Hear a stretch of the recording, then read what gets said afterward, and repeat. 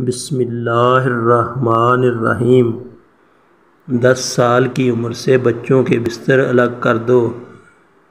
हजूर सल्लल्लाहु अलैहि वसल्लम फरमाते हैं कि जब बेटा या बेटी, लड़का या लड़की, मर्द या औरत दस साल के हो जाएँ तो उनके बिस्तरों को अलग कर दो।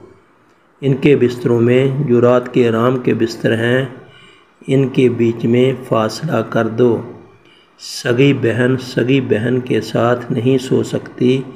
इनके दरमियान फासला करो। दरमियान में तकिया रख दो या कोई और चीज़ रख दो। बिस्तरों में तफरीक डाल दो और सगा भाई सगे भाई के साथ ना सोए, ये शरीयत का हुक्म है।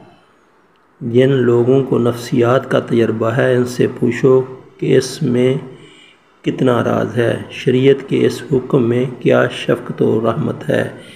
लिहाजा अपने दस साल के बच्चों को कभी इकट्ठा मत लेटने दो। बीच में कोई चीज़ हायल रख दो।